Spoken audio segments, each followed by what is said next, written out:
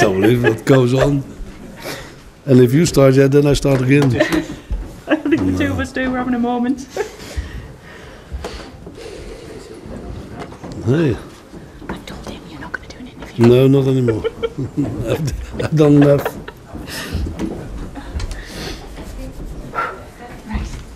Composure. Come on, boss. What, what does that mean to you Yeah, we, we, we straight from we, we straight we said straight from the beginning. It's not about me. It is about everybody who's involved, from the from the president to the people who are working at the office, from the team. For me, it's just the easiest way to work with the team. Telling them what they have to do, and we start doing that from day one. And uh, and they believed in it. And nobody was expecting that we we will do it here against a, a great team on a great pitch. But if you can do it on your own, like we did, that gives me a special feeling. What would it take for you to stay? Yeah, well, I give an answer on that next week. Sorry. When was the last time you were that emotional on a football pitch? Yeah, well, what I said, they have so much quality, Arsenal. It can happen every minute. Despite that, I think the second half, we had some brilliant chances to score a goal, and then that, that gives you a little bit more. Now, every moment with the, with the quality they have, they can score. Fortunately, they did not do it. But have you often been in tears at the end of a game? No, but maybe was that a special reason?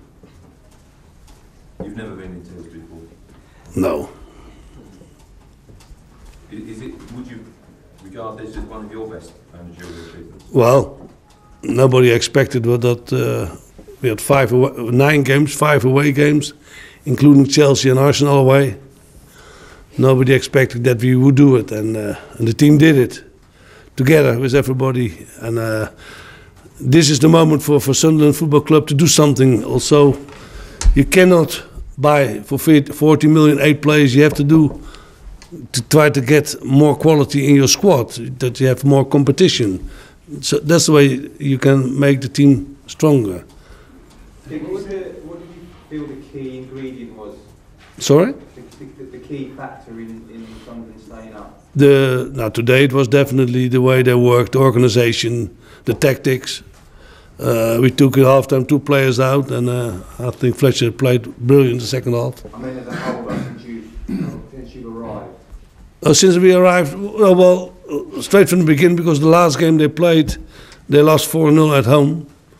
And then we start an away game by West Ham and we lost with 1 0.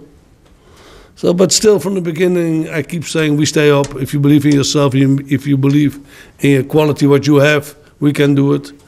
As long as you keep saying that, and I also said to them, you listen, you're not here because you're a nice guy, you're here, you're a good player.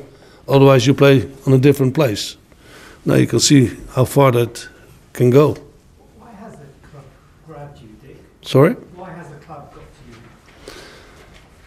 Yeah, well, again, we are one owner and we don't have the money what the majority of the club has.